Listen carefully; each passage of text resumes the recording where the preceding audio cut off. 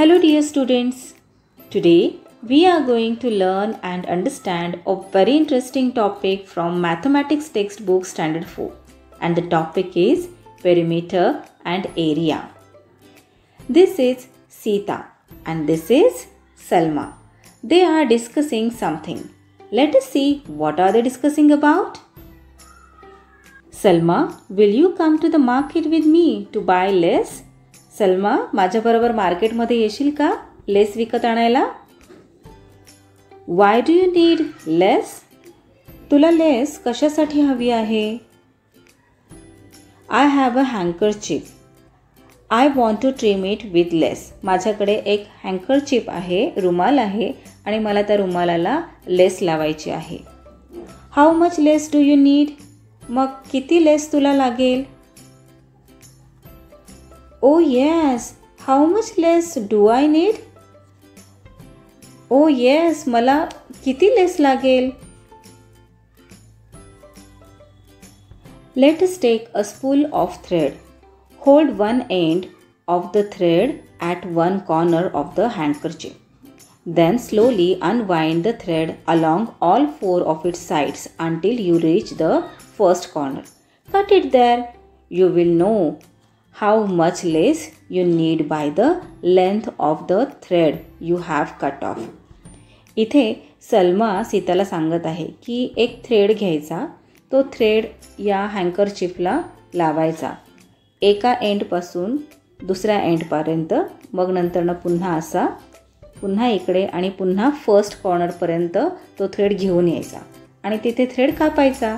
मग तो थ्रेड जेवढा लांब आहे त्या थ्रेडची जेवढी लेंथ आहे तेवढी लेस तुला लागणार आहे. रुमालाला लावण्यासाठी. A B C D is a square handkerchief आता रुमाल हा स्क्वेअर शेपचा असतो. सो हा रुमाल A B B C C D आणि डी ए असे नावं आपण या रुमालाला देऊयात.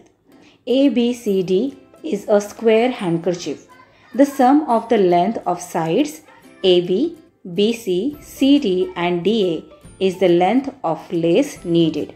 This length is called the perimeter of the handkerchief. The perimeter of a square is the sum of the length of all four sides of the square. A, B, C, D हा एक square शेपचा रुमाल आहे हँडकरचीफ आहे याच्या sides आहेत A B B C C D आणि D A आपल्याला या हँडकरचीफचा पेरिमीटर फाइंड आउट करायचा आहे. सो इथे ए बी टेन सेंटीमीटर आहे बी सी टेन सेंटीमीटर आहे सी डी टेन सेंटीमीटर आहे आणि डी ए टेन सेंटीमीटर आहे. सो आपल्याला जर या हँडकर चिप्सचा पेरिमीटर फाइंड आउट करायचा आहे तर आपल्याला काय करावे लागेल? याच्या ज्या साईड्स आहेत त्याचे ॲडिशन करावे लागेल. आणि जे आन्सर येईल ते आहे perimeter so the perimeter of a square handkerchief is equal to A B A B plus B C plus C D plus D A so ten plus ten plus ten plus ten is equal to forty centimetres so या हँडकरचिफचा perimeter आहे forty centimetres A fence of a single wire has to be put around a rectangular field. We have to find out the length of the wire needed.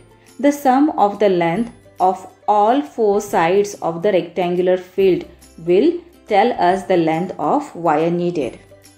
Rectangular फील्डला single वायरचे कुंपण fence म्हणजे कुंपण लावायचे आहे तर किती wire लागेल हे काढायचे आहे त्यासाठी काय करावे लागेल रेक्टँग्युलर फील्डच्या प्रत्येक साईडच्या लेंथची ॲडिशन केली की आपल्याला फेन्स लावण्यासाठी किती वायर लागेल हे कळेल.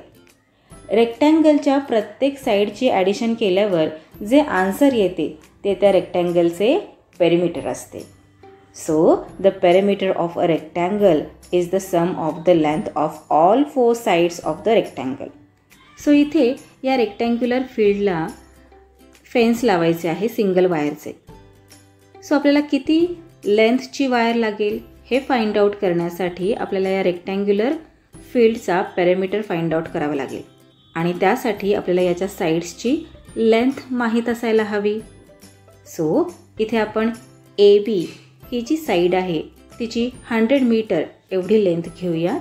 बी सीची लेंथ आहे फिफ्टी मीटर सी डीची लेंथ आहे हंड्रेड मीटर्स आणि डी एची लेंथ आहे fifty metres So the length of the wire needed is equal to the sum of the length of all four sides.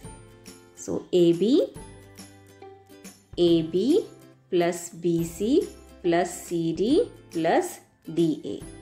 So 100, 100 meters plus 50 meters plus 100 meters plus 50 meters is equal to 300 meters. So students, the perimeter of the field is 300 meters. 300 meters perimeter या फील्डचा आहे मग या फील्डला fence लावण्यासाठी किती wire लागेल 300 meters. This is a triangle made of wire हा एक triangle आहे आणि हा वायरने बनवलेला आहे to find out the length of the wire needed to make it we will straighten out the wire and measure its length. This length will be the sum of the length of the three sides of the triangle. The perimeter of a triangle is the sum of the length of all three sides of the triangle. जर ट्रँगलचा आपल्याला perimeter काढायचा असेल तर ट्रँगलच्या three ज्या sides आहेत त्या साईड्सचं addition करायचं जे आन्सर येणार ते आहे त्या ट्रँगलचं perimeter This figure shows a rectangle whose sides are 3 centimeters, 2 centimeters, 3 centimeters and 2 centimeters. Let us find out its perimeter. So, the perimeter of a rectangle is the sum of the length of all four of its sides. So, 3 plus 2 plus 3 plus 2 is equal to 10. So, the perimeter of this rectangle is 10 centimeter.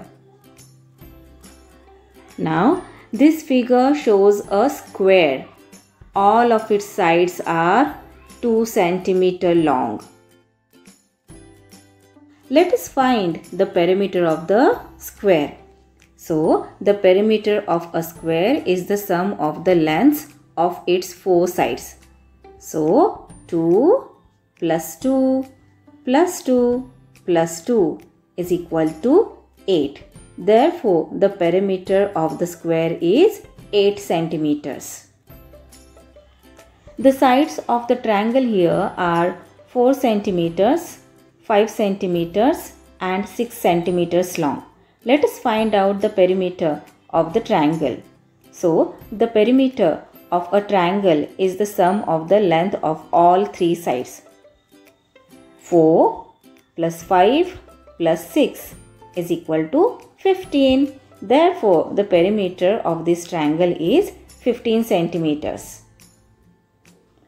Exercise. Find the perimeter of the figures given below. It is a rectangle. The rectangle has sides of 1 centimeter, 4 centimeters, 1 centimeter and 4 centimeters. Now the perimeter of a rectangle is the sum of the length of all four of its sides. So 1 plus 4 plus 1 plus 4 is equal to 10 centimeters. So perimeter of this rectangle is 10 centimeters. Now this is a square and a square has equal four sides. So each side of the square is 3 centimeters. So the perimeter of a square is the sum of the length of its four sides. So 3 plus 3 plus 3 plus 3 is equal to 12 centimeters. So the perimeter of the square is 12 centimeters. Now this is a triangle आणि या ट्रायंगलच्या साईड्सची length दिलेली आहे five centimetres four centimetres and three centimetres so the perimeter of a triangle is the sum of the length of all three sides. So 5 plus 4 plus 3 is equal to 12 centimeters. So perimeter of this triangle is 12 centimeters. This is a rectangle again. This rectangle has sides of 7 centimeters, 2 centimeters, 7 centimeters and 2 centimeters. So the perimeter of a rectangle is the sum of the length of all four of its sides. So 7 plus 2 plus 7 plus 2 is equal to 18 centimeters. So the perimeter of this rectangle is 18 centimeters.